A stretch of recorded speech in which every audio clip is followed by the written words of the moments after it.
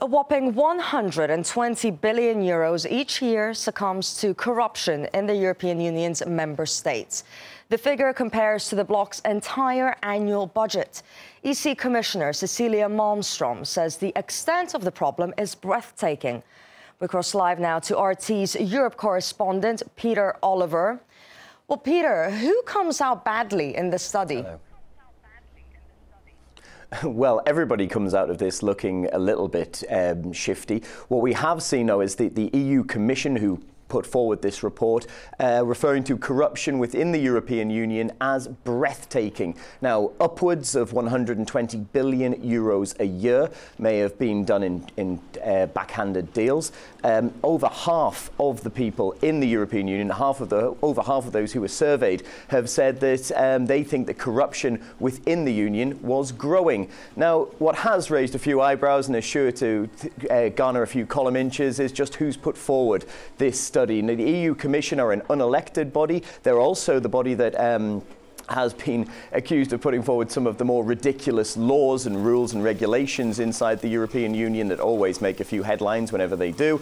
Um, but they also haven't they also haven't looked into EU institutions, and the fact that they've declined to do that may uh, well regard uh, may warrant further investigation into seeing just uh, what it would have been if it had been if they had been looked into as well. But from what we have, the 41-page report.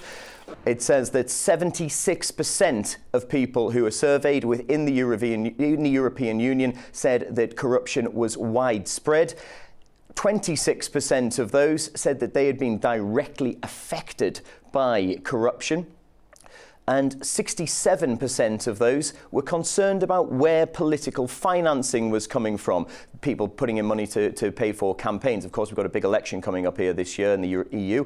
Um, 23%, only, only 23% thought that the, um, the governments in the European Union were effective in tackling corruption, and 73% said that the, the uh, bribery for public services was the best way to go about achieving that. So it all doesn't really make very good uh, reading for the European Union, but um, as I say, this, this is what's been put forward by the EU Commission looking into the, the current state of um, the, the grey market, if you will, here in the EU. Peter Oliver with the latest there on corruption in the EU. Thank you very much.